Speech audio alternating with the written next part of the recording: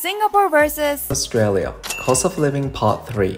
Cost of owning a private car. In Singapore, it costs a whopping 163,000 Singapore dollars to own a Toyota Corolla including COE and insurance. In Australia, on average it costs $29,000 to own a similar car including vehicle registration and insurance costs.